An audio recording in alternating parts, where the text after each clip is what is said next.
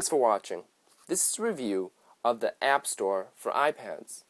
The App Store, which is right here, is where you will find almost 250,000 fantastic apps.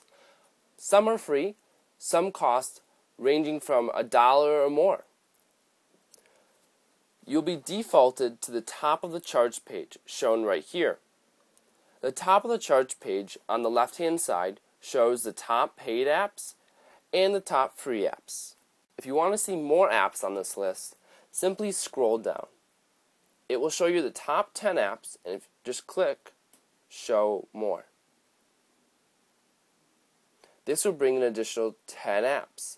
Once again on the left hand side, the paid ones, and on the right hand side, the free ones. You can see here that I've already installed quite a number of them.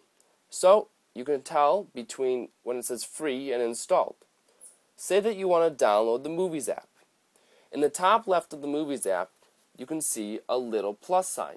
That means that it was specially made for the Apple iPad. Just tap free and then tap install app.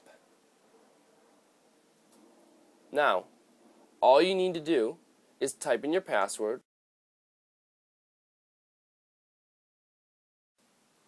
If you want to switch to another section of the App Store, at the bottom there are four tabs Feature, Top of the Charts, Categories, and Updates.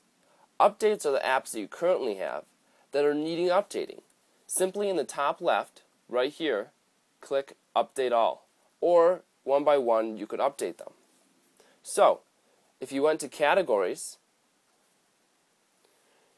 you could click on, say, the Business category and it would customize it to just business apps and it would put them all in one box. To see more, just tap the arrows. Also, you can find the Featured Apps tab at the bottom.